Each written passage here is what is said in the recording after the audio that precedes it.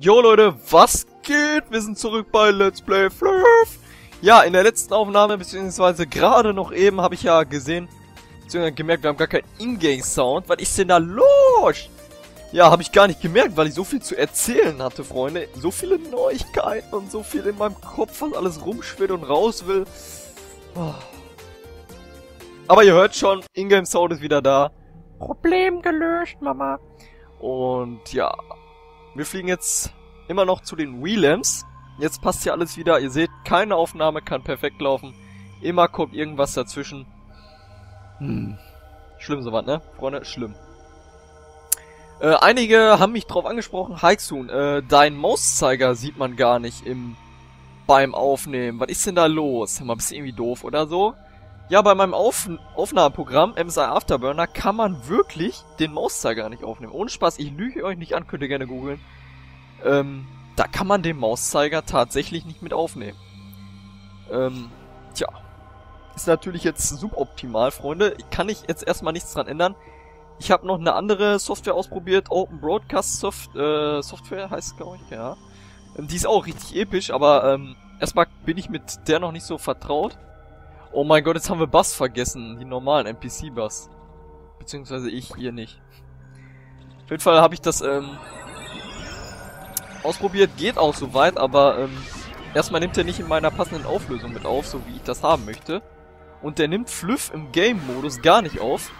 Stört mich auch so ein bisschen, Freunde, muss ich ganz ehrlich sagen. Und ja, deswegen kann ich gerade wirklich die Maus... Ich habe kein anderes Aufnahmeprogramm.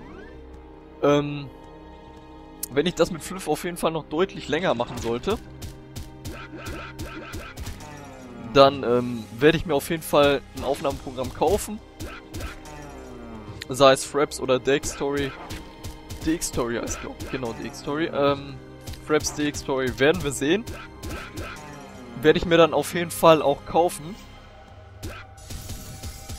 Das ist dann gar kein Problem und dann werden wir solche Probleme auch nicht mehr haben, Freunde. Ist jetzt halt erstmal Anfang Ihr wisst, ähm, zu dem Zeitpunkt übrigens, wo das Video rauskommt, jetzt bin ich noch ziemlich am Anfang. Ähm, kann natürlich sein, dass ich irgendwann ein paar äh, Abonnenten mehr habe und ihr guckt euch das Video an und denkt so, Leute, der hat doch ein paar Abonnenten, warum labert der so, als hätte der nicht so ganz viele? Ähm, zu dem Zeitpunkt, wo ich das Video aufnehme, da, äh, ich verdiene ja auch mit YouTube gar kein Geld und gar nichts und bezahle das natürlich alles von, aus meiner eigenen Tasche, aus, von meinem Gehalt, ähm, Ausbildungsgehalt hat, ist natürlich jetzt keine Million. Kann sich ja jeder ausmalen und ähm, ja.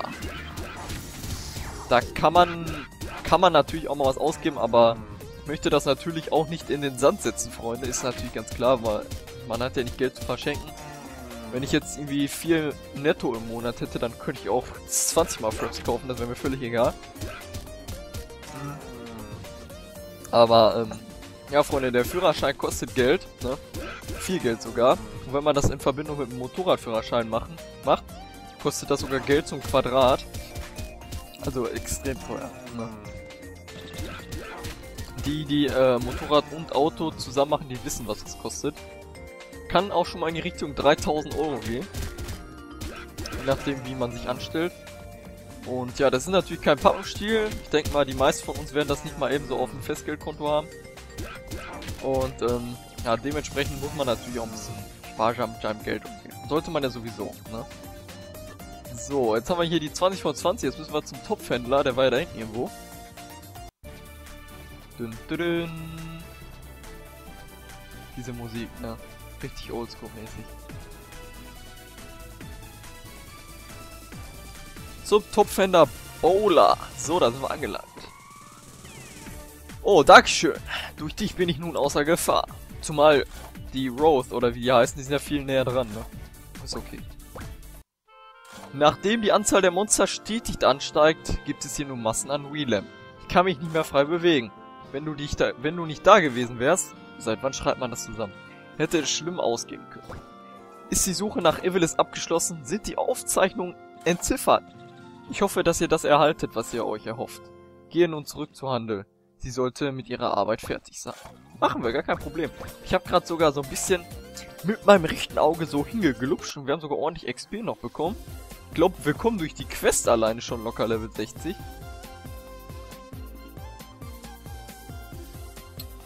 So, wenn ich jetzt... Handel war da oben, glaube ich, ne? Ja, genau, da oben war die.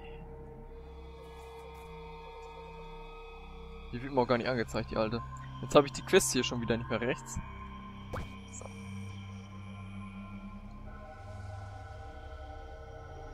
Oh, wird mir gar nicht angezeigt, wo die Handel ist.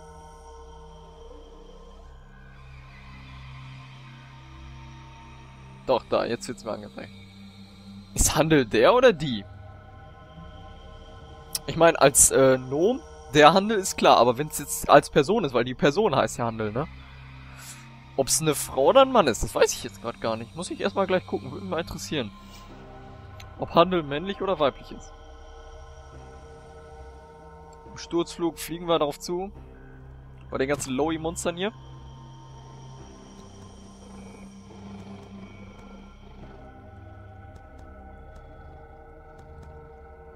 ist eine Frau.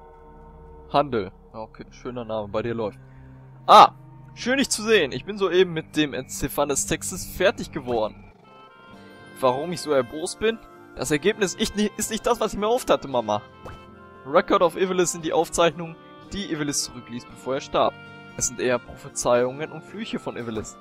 Laut den Aufzeichnungen hat Evilis die Saat des Bösen über ganz Madrigal verteilt. Und wenn die Zeit gekommen ist, werden die Ster stärksten Monster emporsteigen. Das kann kein Zufall sein, dass die Zahl der Monster und deren Stärke zunimmt. Sag Reonen so schnell wie möglich, was wir herausgefunden haben und sag ihm auch, dass wir schnellstmöglich den Rest der legendären Helden finden müssen. Den Rest, was noch übrig geblieben ist von den Helden, ne? so. Wir hatten gerade 38, selbst für diesen Piss haben wir schon 3% bekommen, obwohl wir nur von A nach B geflogen sind. Und das mit Level 59. Wir hätten ja viel mehr bekommen, äh, als wenn wir noch lower wären. Freunde, also es kann sich keiner beschweren, dass man ohne diese Quest nicht mehr hochkommt. Oder mit dieser Quest. Die Lady und die Wahrheit. So, du konntest Handel ohne Probleme helfen? Was? Das stand in den Aufzeichnungen von Ivelis. Es ist nun dringender, als ich dachte. Es tut mir leid, dass ich so viele Dinge vor dir verheimlichen musste. Da wir aber nun Partner sind, werde ich dir mehr erzählen. Ich bin einer der acht Helden, die Ivilis zur Strecke gebracht hat. Das ist der Grund, warum ich dem alten Wissen wiedergeboren wurde. Handel und Heil sind auch legendäre Helden. Wir sind Ringmaster, Blade und Knight, die Ivilis getötet haben. Ich denke, es gibt einen Grund, warum wir mit dem alten Wissen wiedergeboren wurden. Und dieser ist wohl das, was du mir gerade berichtet hast. Madrigal und von der Zerstörung beschützen. Ist auch kein Satz. Madrigal von der Zerstörung wir müssen schnell die einzig, einz, einigst, einstigen Helden zusammen, zusammenrufen. Ich denke, dass sie das Ungleich, Ungleichgewicht der Macht ebenfalls spüren. Ich hörte, dass einige in Darkon leben. Kannst du das bitte überprüfen? Bitte beeilen. Ist auch sowas. Wir machen hier die Drecksarbeit und die sagt mir einfach mal nichts, ne? Ich weiß gar nicht, worum es geht. Und so, die sagt mir einfach nichts, ne? Ist ja... If you know what I mean, ne? Kann man ja hier mal den Drecksable äh, die Drecksarbeit machen. Drecksarbeit. Mein Gott, ey. Entweder liegt das an meinem Sommerurlaub, den ich letztens hatte. Ich bin ja, ich gehe jetzt wieder arbeiten, aber irgendwie weiß ich nicht. Das Deutsch ist immer noch. Ich hoffe, das verbessert sich im Laufe des Let's Plays noch. Oder ist verschlechtert, sie könnte natürlich auch sein, ne? Fluffpart 200. Hikes ist Start. da bin ich richtig sprachgestört. So, wir holen uns jetzt erstmal Bassi ab. So, jetzt habe ich gar nicht geguckt, was müssen wir machen. Treffe Bürgermeister von Darkon. Wo steht der wohl, Freunde? In Darkon. Das ist auch das erste Mal, dass wir nach Darkon fliegen.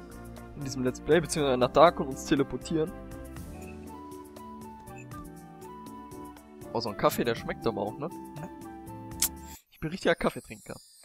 So, das ist Darkon, Freunde. Das ist meine Lieblingsstadt bei Fliff. Ihr müsst euch das vorstellen, das ist jetzt, jetzt nicht mehr so, weil es hat sich einiges verändert. In Fluff, früher in Fluff waren, war Dakon die Shopstadt. Das war alles voll mit Shops. Alles, alles. Freunde, ich hatte damals von meinen Freunden den besten Computer und es hat hier geruckelt. Wie sonst was. Ich konnte nicht so nach vorne gehen, ohne dass sich alles geruckelt hat. Es standen hier locker 300, 400, 500 Leute. Ungelogen. Shop an Shop. Ungelogen, Freunde. Die, die Fluff von damals kennen, wissen, was ich meine. Und ich stand immer hier so ungefähr. Hier stand ich immer mit meinem Shop. Schön hier und dann habe ich Shop aufgemacht. Warum?